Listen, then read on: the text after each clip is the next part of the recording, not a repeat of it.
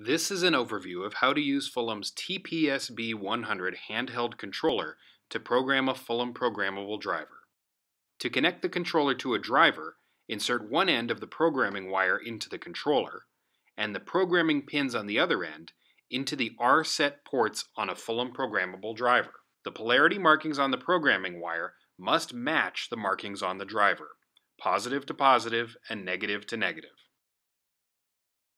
To power up the controller, simply plug one end of the provided USB power cable into the controller and the other end into the wall adapter, then into power.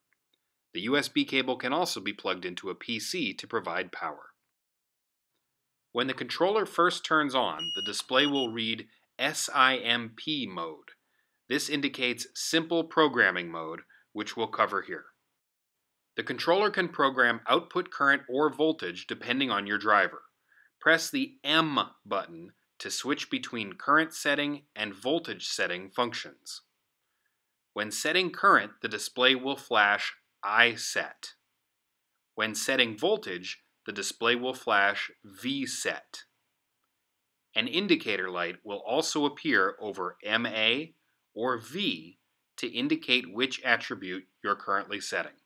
Press the Read button to display the driver's currently set output current or voltage. To program a new value, press the plus minus button to change the desired current or voltage.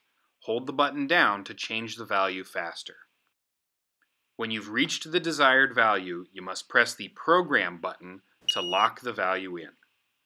You can press the Read button again to confirm that the driver has been set to the new value. When an operation fails, the controller will beep three times, and you'll see an error message. E01 indicates there is no connection to the driver. E02 indicates that the controller is unable to read data from the driver, most likely because the driver is not properly connected to the controller.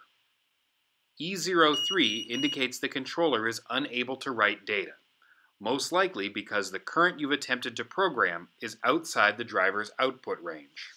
Most errors can be corrected by simply unplugging the controller from power, double checking all connections, and reapplying power.